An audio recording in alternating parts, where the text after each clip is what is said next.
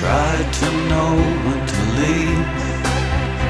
She sits in the bedroom and grieves. There's a sequence that starts all again. She can't get up anymore with the pain. The combination of these drugs has left her hopeless and lost. She wants to count the ways, but she can't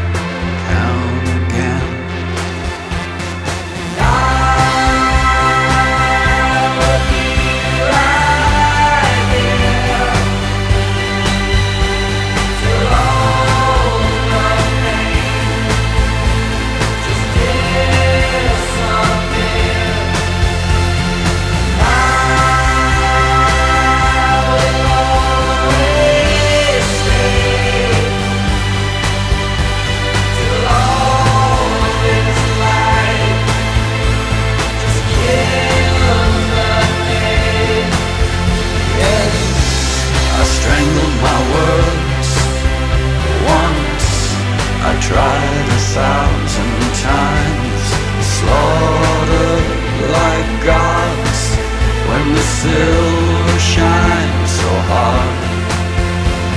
I tried to poison my life Always dreaming of the edge of the knife She always looked backwards and I Couldn't sit here for even ten minutes or more.